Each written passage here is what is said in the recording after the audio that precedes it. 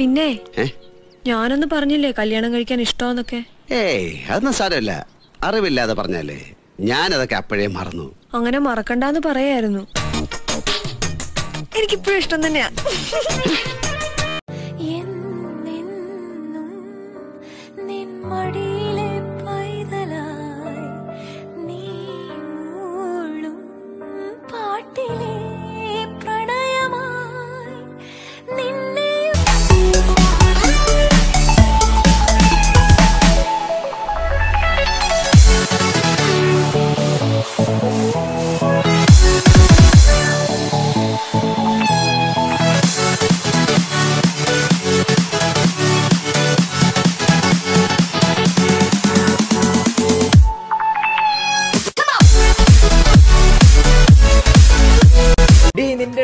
ചെക്കൻ വന്ന് ഇഷ്ടാന്ന് പറഞ്ഞെന്ന് കേട്ടല്ല?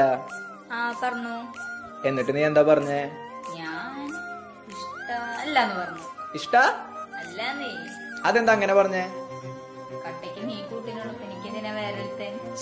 എന്റെ പുണ്യാളച്ച ഒന്ന്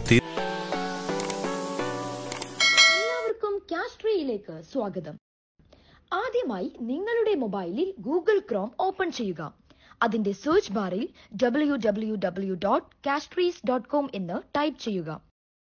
ടൈപ്പ് ചെയ്ത് സെർച്ച് ചെയ്യുമ്പോൾ വലതുവശത്തായി മൂന്ന് ഡോട്ടുകൾ കാണാം.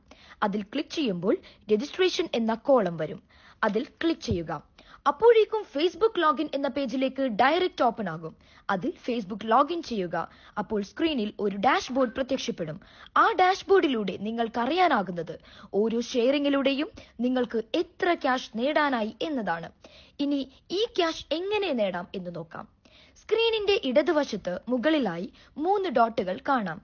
അവിടെ ടാസ്ക് മൈ ന്യൂ ടാസ്ക് എന്നീ രണ്ട് ഓപ്ഷനുകളും കാണാം. ഇത് ക്യാഷ് ട്രീ നിങ്ങൾക്കായി നൽകുന്ന ടാസ്കുകൾ ആണ്.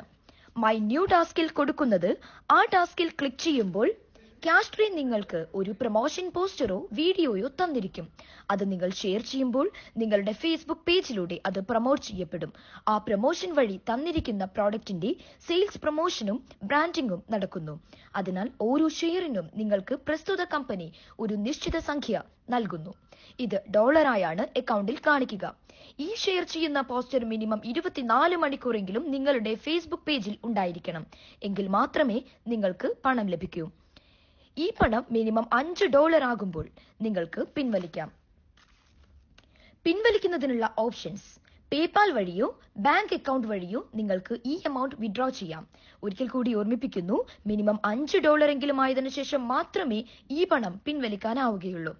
നിങ്ങൾക്ക് ഓരോ ദിവസവും ഒന്നോ അതിലധികമോ ടാസ്കുകൾ കിട്ടിയേക്കാം. ആയതിനാൽ ഫ്രീക്വന്റ് ആയി വെബ്സൈറ്റ് വിസിറ്റ് ചെയ്യുന്നത് നല്ലതായിരിക്കും. താങ്ക്